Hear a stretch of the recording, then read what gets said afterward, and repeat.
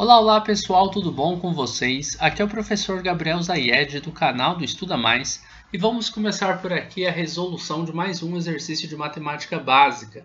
Na videoaula de hoje vamos resolver uma conta de divisão e nós temos aqui 22 dividido por 5. Para a gente resolver essa continha, a gente vai montar ela primeiro, colocando o 22 ao lado do símbolo da chave e dentro do símbolo da chave o número 5.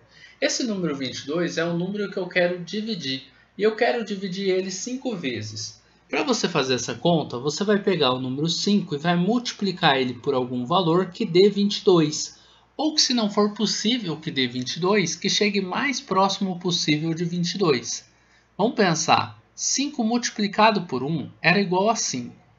5 multiplicado por 2 vai ser igual a 10, mas ainda não está tão perto assim de 22. 5 multiplicado por 3 vai ser igual a 15. 5 multiplicado por 4 vai ser igual a 20. Bom, 20 já está bem perto. 5 multiplicado por 5 é igual a 25. 25 passou. Bom, o que, eu tinha que fazer mesmo? 5 vezes algum valor que dê 22. Bom, não tem nenhum valor inteiro que multiplicado por 5 que dá 22. Mas se não for possível que dê 22, que dê um valor menor do que 22. Ah, então tem que ser 5 vezes 4 que dá 20. Porque 5 vezes 5 dá 25, e 25 é maior do que 22. Então você vai colocar um 4 aqui, 5 vezes 4, e o resultado 20 embaixo do 22 para você fazer uma subtração. 2 menos 0 é igual a 2, 2 menos 2 é igual a 0. Um zero à esquerda você pode ignorar. O seu resto ficou como sendo 2.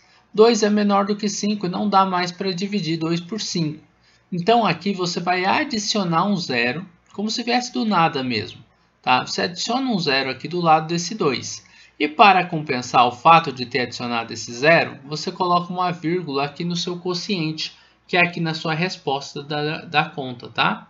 Aí você tem agora o número 20. 20 é maior do que 5 e dá para dividir.